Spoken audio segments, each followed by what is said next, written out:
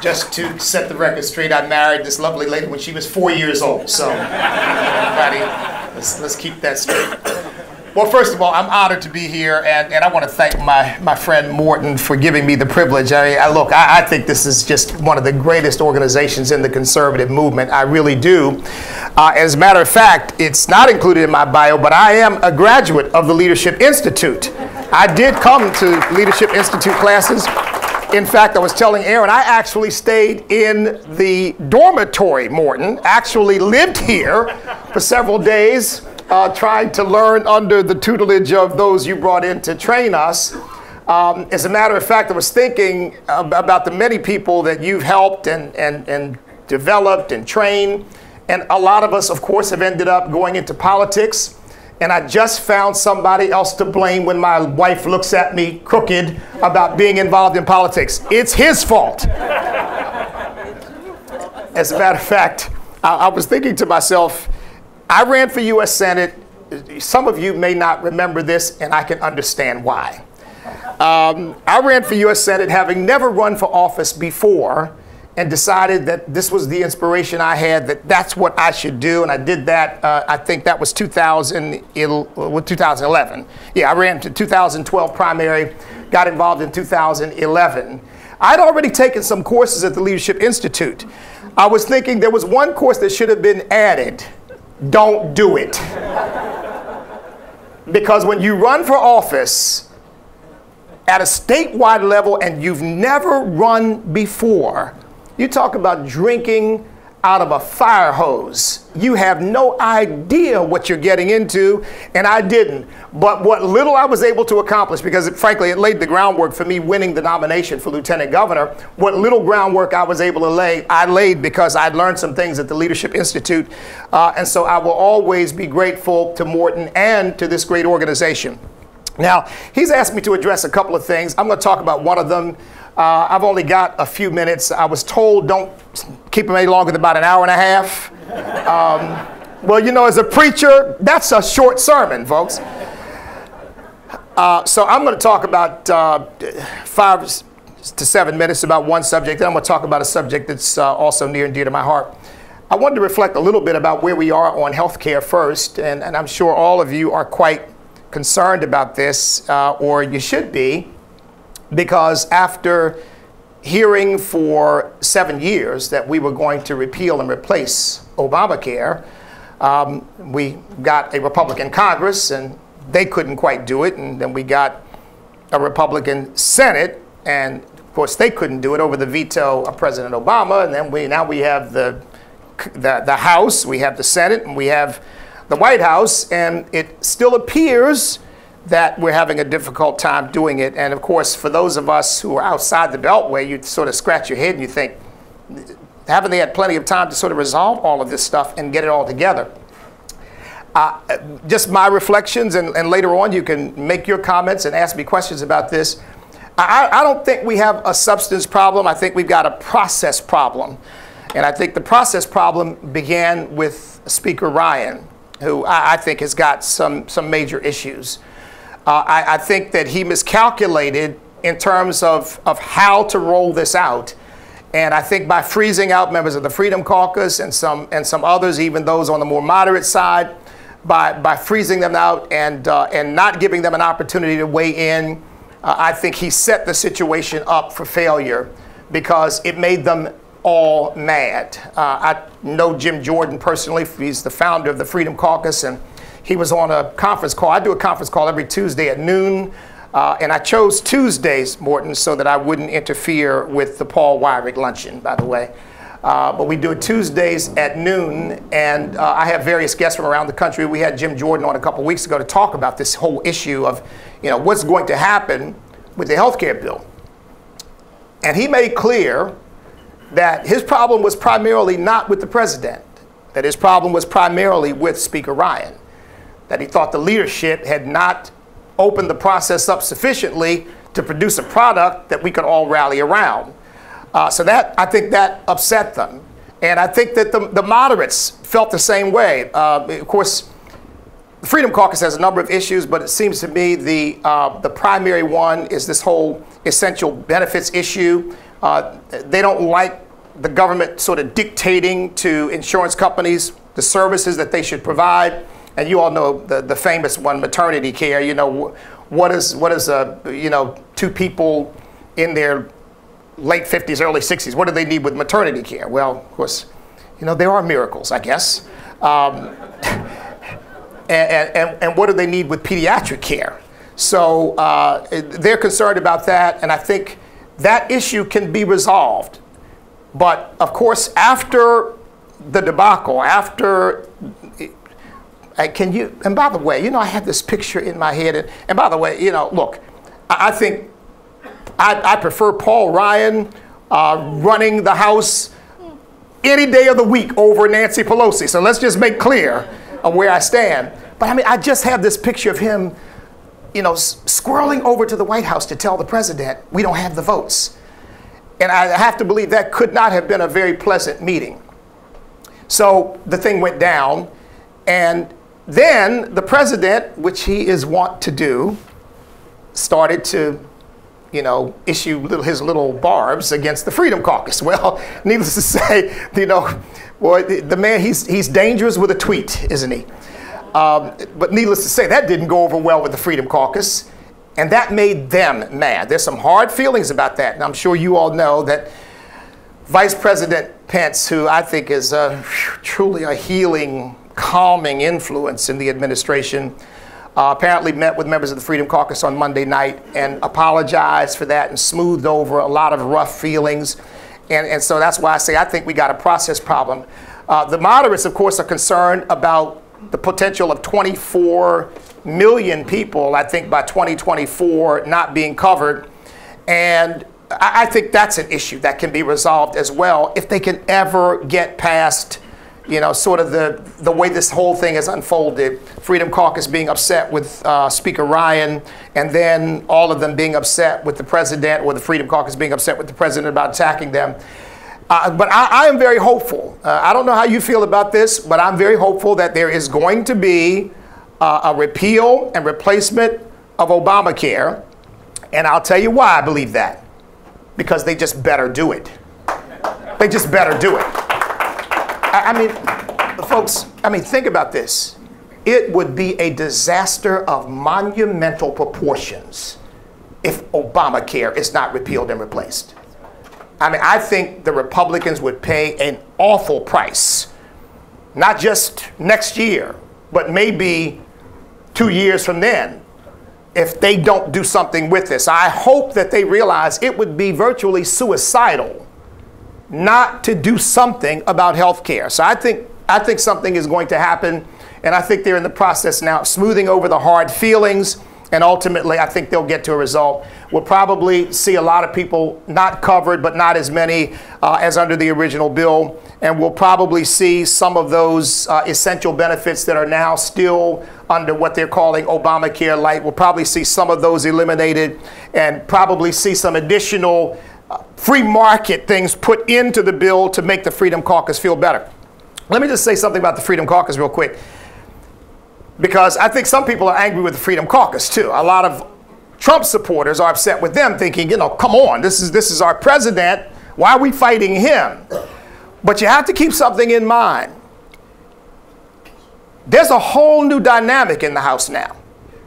In fact, I really believe that Speaker Ryan may be the weakest speaker we've seen in a generation. And I think it's in part because these folks were sent by, there by a constituency to do a job. And they understand that if they go home to their constituency and they have not held fast, the likelihood of their getting reelected, it may be slim to none. The likelihood of their getting primaried is going to be very high. Uh, I know Dave Brat. In fact, Dave Brat is having a breakfast this morning that I was invited to, but I told him I had a more important engagement with Morton Blackwell, Morton, so just so you know. Uh, but Dave Brat, as you all know, toppled Eric Cantor with the promise that he was going to go and not do the bidding of the leadership, but he was going to go to Congress and do the bidding of his constituents.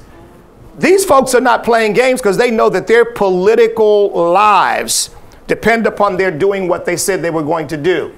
Uh, I don't think they're out to hurt the president. I think they're just out to, to do what they promised their constituencies they were going to do. So I, I think that this thing will get worked out somehow. Uh, I'm hoping that it will get worked out quickly so we can put it behind us uh, and we can move on to other things that the president wants to do. Uh, so I'll be happy later on to take some, any questions or comments about that issue. Let me talk to you then briefly about an issue that's very near and dear to my heart. Uh, I'm sure all of you know who Thomas Sowell is. Um, I just finished reading uh, his book, um, uh, Wealth, Poverty, and Politics. Uh, if you've never read that book, you got to get that book. Uh, I'm a reader. It is one of the greatest books I have ever read. Now, just like your grandchild compared to your Lily's Morton, I wouldn't compare it to the Bible, folks. Uh, but it, it, is, it is a great book. I mean, it is a great book. Uh, it, it's, of course, it's about comparing uh, societies and cultures and demographics and geography internationally. But some great insights come out of it. But it reinforced an, an, an idea that I have about one of the most intractable, intractable problems we have in America, which is the problem of inner city violence, chaos, family breakdown, and these things that have been persistent over more than a generation now. And, and by the way, seem to, generally speaking, be getting worse, not better. I mean, we're not getting more family formation. We seem to be getting less. We're not getting the numbers improving. They seem to be getting worse. Uh, in a city like Richmond, for example, where the average uh, out of wedlock birth rate in the black community is 72%, in Richmond it's 80%. Uh, you all know that half of the babies uh, to black women in New York are aborted. So we, we've got uh, the gang warfare, the murders, the, the, the, the, the just, I think the president described it right when he said carnage. There is carnage going on. And I've traveled all over the country, and everywhere I go, people express to me their despair over these issues ever being resolved. And I think that I've got a solution. I don't, probably not unique to me, but but I've got one I want to share it with you before I start taking your questions. I went to Milwaukee. Uh, we have a program under my organization, STAND. If you want to find out more about it, you can go to standamerica.us. Uh, but one of the projects we have is something called STAND with law enforcement. And as part of that, I traveled all over the country every time there was some sort of racial incident. Uh, to meet with police officers, to meet with members of the community, to talk to them about what was going on. So I went to Milwaukee after the death of, I think it was Aaron Sperling and uh, to police out there and, and talked to community members out there. I had a man come up to me and say this. He said, I was here 50 years ago when there were riots in Milwaukee over the same issues. He said, and here we are 50 years later having riots in Milwaukee over the same issues. And I submit this if we don't do something different than what we've done 50 years from now, we will be experiencing exactly the same thing and lamenting the murders and the chaos and the family breakdown and all of these terrible social consequences of what I think began in the 60s, the moment government stepped into Ronald Reagan put it to help.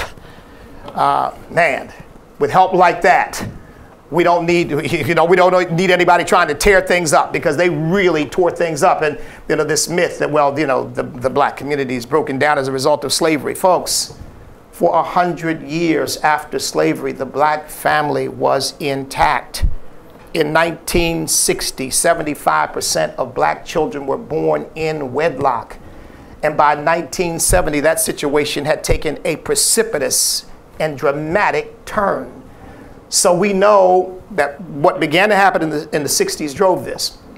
Well, I believe, and this is where Thomas Sowell comes in, one of the things he argues is that, you know, societies and nations prosper for a whole variety of reasons. And, and one of those reasons sometimes is the geography. And he talks about the difference, for example, between the geography of America and the geography of Africa. That America is one of these nations where we have many ports and we have uh, uh, uh, low um, coasts where ships can come in close. We can bring goods in very easily to our coast. Africa's different. Africa doesn't have many of those at all. the, the altitude uh, um, of, of, uh, of the, the landmass of Africa is very high, 1,000 to 2,000 feet high. Very few places to dock in that country. This talks about how much more difficult that makes it for transportation and, and exchange of information and goods and so forth. And he compares, you know, Africa to China to, to Australia, and he gives all of these indices.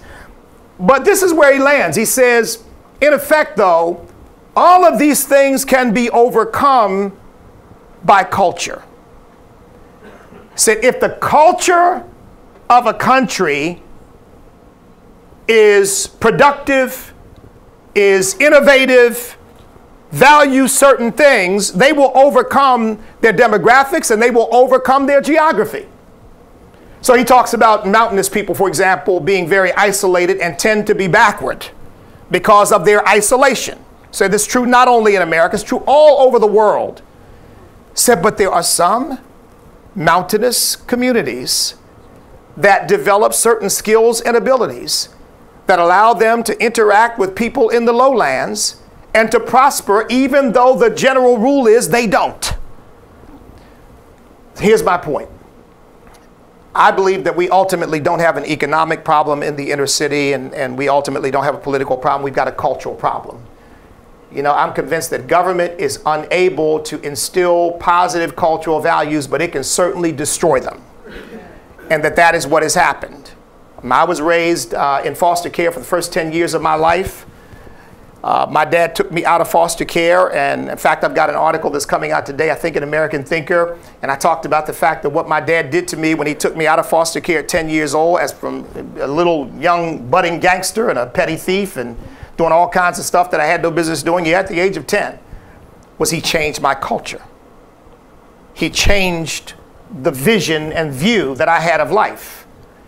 Um, and, and instilled in me certain fundamental ideas um, one of the things that he instilled in me was that self, an idea of self worth, that you have something to offer. But you also have to take personal responsibility for yourself, for your development. Demanded that I do well in school, demanded that I stay out of trouble, demanded that I not hang out with the people I'd been hanging out with, one of whom, by the way, ended up going to jail for murder. Well, friend of mine murdered another friend. That's the direction I was headed in. But my dad changed my culture. He changed the way I thought about life. And as a result, my trajectory shifted. And what we've been doing with the inner cities is we've been trying to parachute in with government programs and with money and with welfare without realizing that often what we're doing is undermining the very ideas and principles that cause a community to prosper. When you teach dependence rather than independence, when you teach the government will do it, when you teach you're not really responsible for your own life, it's somebody else's fault. What you're really instilling people is a sense of hopelessness and despair, and that all you can do is what you're doing. And so you make the best of it you can. And folks, this is not academic for me. I grew up in the ghetto. My, my church uh, my church is, I've got a couple of churches, but they've often served inner city people. And I've had young people say to me, well, we deal drugs because the white man won't let us do anything else. Now, they didn't learn that. They didn't come up with that, that is, by themselves. They learned that from people like Jesse Jackson and Al Sharpton and, and others who exploit the issue of race because you have to remember, both government and people in these kinds of positions don't benefit from people who think independently and act independently and are committed to bettering themselves. They benefit from people who remain in the same condition because that's their constituency and that's what gives them relevance as rescuers, as saviors. And so we've got a program called Project Awakening. And it tries to, first of all, it's a program that absolutely excludes all government funding and all government help. We don't want it because we think it is the death knell of the success of helping anybody. But it's based on this idea of going in and transforming the culture. And, and basically just three principles based upon this word create, CR, cultural renewal. We need a cultural revolution in these communities. We need to do for these folks what was done for me. Give them a new way of thinking about life and thinking about issues. And then entrepreneurial awakening. You all realize, don't you, that before the 1960s, entrepreneurship had a major impact in the black community because there was no choice. I mean, Jim Crow segregation in the South made it, you had to build your own hotels, you had to have your own stores, you had to create your own business community because you were pretty much excluded. In fact, they often became so successful that they were attacked because they were taking business away from some of the white entrepreneurs and business people who realize, you know, these people are actually becoming self-sufficient and independent. So we need an entrepreneurial awakening. And I always say that the, the greatest entrepreneur in the inner city should not be the drug dealer. And unfortunately, that's, that's what is often the case right now. And then the last, technical education. You know, uh, Folks, I, I, I was a philosophy major. I became a philosophy major because I knew I was going to law school and I wanted to be challenged. If I was going to work after college, I wouldn't have been a philosophy major. I'd have probably studied engineering. Um, you know, we've got people studying in these universities some of the most dead end nonsense imaginable that can't help you find a job, can't help you take care of your family, can't help you do anything. And, and, and folks, technical education, you can, you can begin to do that right out of high school. You can begin to earn a living right out of high school. No wonder we've got to keep young people on their parents' health care until they're 26. Because very often when they graduate from college, they, they, don't have any skills that are marketable, any skills that are valuable in the workplace. And so we believe that there needs to be a partnership between churches and businesses and uh, private schools and other private institutions going in to bring a new cultural awakening into these communities, and it starts at the church. Uh, so it's called Project Awakening. You'll find out more about it at standamerica.us because this is my commitment. I told you I married my wife when she was four. My wife always tells me, don't tell people how old you are because then they're going to date me. So since she's here, and I'll have to hear it if I tell you how old I am, uh, uh, suffice to say, there's a legacy I want to be sure I leave. And one of the legacies I want to be sure I leave is I want to do things for young kids like what was done for me. You're looking at a guy who could have been in jail, who could have been drug addicted, likely would have been dead had not something very dramatic happened in my life. Now, I can't be every kid's father. But I believe that the principle of changing the culture, changing the outlook and the ideas of people can actually change the trajectory of their lives. Uh, and that's what we're going to try to do. So let me stop there, and I'll be happy to take any questions.